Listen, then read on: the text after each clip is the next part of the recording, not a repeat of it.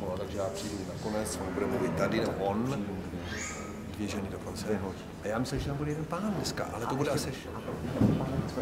Jsou tady takový překlápka, no. to bude takový takový trošku divný. Tak já tady mám tu píčelku, no, Můžete zpívat.